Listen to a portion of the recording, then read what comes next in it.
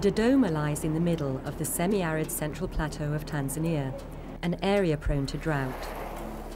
Only 65% of the townspeople have access to clean drinking water, whilst in some rural villages only one quarter have access. Today the situation is improving as new solutions are being explored. Monica Mardi is 35 years old, or maybe 40, she's not sure. She only went to school for three days and then her husband kidnapped her. Monica has four surviving children of eight she delivered, and her husband, a Maasai chief, has 15 wives. They all belong to the same homestead and live in primitive huts isolated from the world. Naturally, they have no water at home, so Monica has to make her reserves of water go a long way. The wealth of the family depends on their cattle, and finding sufficient water for them is also a problem.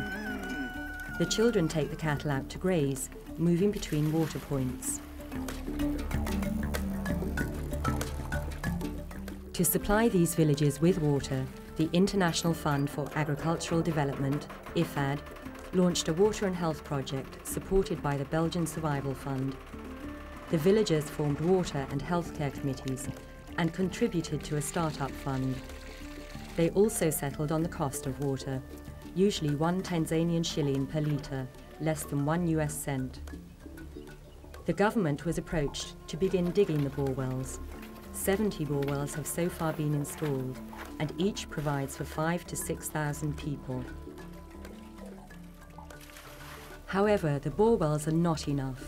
For some villagers, using their limited cash to pay for water is not always a priority. Monica, her two daughters, and some friends set out in search of water elsewhere. Monica wants to save money to visit her mother in Arusha, who she hasn't seen for 21 years. A new irrigation project in Monica's village is planned, so hopefully in the future she can earn money growing and selling vegetables. After walking 12 kilometres, they arrive at the Metadam Basin.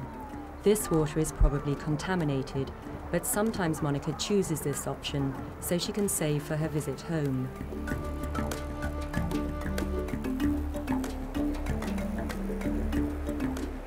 Night falls on Monica's village. The children come home with the cattle, but the day isn't over for her.